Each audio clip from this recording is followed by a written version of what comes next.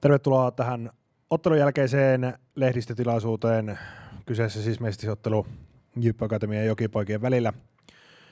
Tiukan kamppailun jälkeen Jokipojat voitti tuon ottelun 0-2. Otetaan valmentajien kommentit ja ensimmäisenä Jokipojat ja Mikko Haapakoski.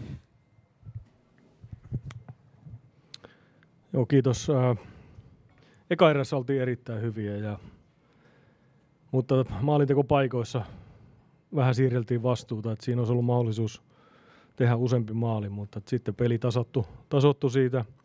Toka erä tasasta vääntöä, me oltiin ihan ok siinä kolmannessa. Jouduttiin puolustuskannalle, mutta oltiin siinä sitkeitä ja kun oma, oman pään saldo on nolla maalia, niin aina pitää olla tyytyväinen ja ennen kaikkea se, että kolme pistettä täältä on aina, aina suoritus, josta minä henkilökohtaisesti tykkään kyllä oikein paljon, että tämä ei ole todellakaan helppo paikka ja pitää olla kyllä pisteisiin tyytyväinen.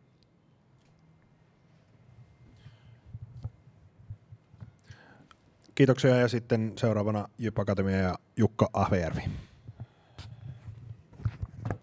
Ei voi sanoa, että olisi oltu valmiita peli, mutta Jokipojat tuli tänään todella energisesti tuohon ensimmäiseen erään, ensimmäiseen vaihtoon kaikista huolimatta niin olennaista oli se, että me roikuttiin siinä ensimmäisessä erässä mukana pelissä kuitenkin, eli ei tullut sitä toista maalia.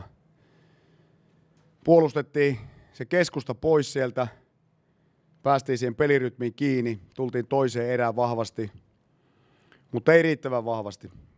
Me kaaduttiin tänään siihen, että me ei päästy siihen maalin edustalle ykkös-kakkosalueelle poikittaissyöttöihin, irtokiekkoihin – Edelmanilla oli oikeastaan aika, loppujen lopuksi aika helppo työ tänään.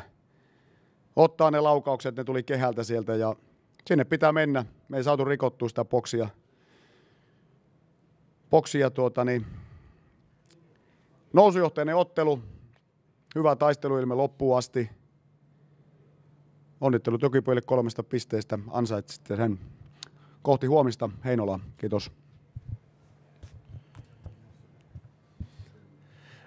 Kiitoksia valmentajat ja nyt jos medialla on jotain kysyttävää, niin se on mahdollista. No Mikolta kysyisin huomenna kohti Vaasaa. Onko tulossa jonkinnäköisiä muutoksia? Onko teillä reservipelaajia tuolla linja-autossa kyydissä?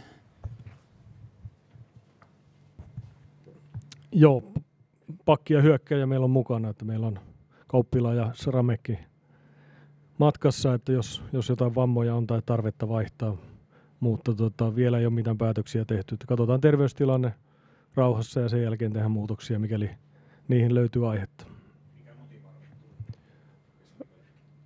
Vartalo vamma vai miten se nykyään pitää sanoa? Ja oliko vielä kysyttäviä?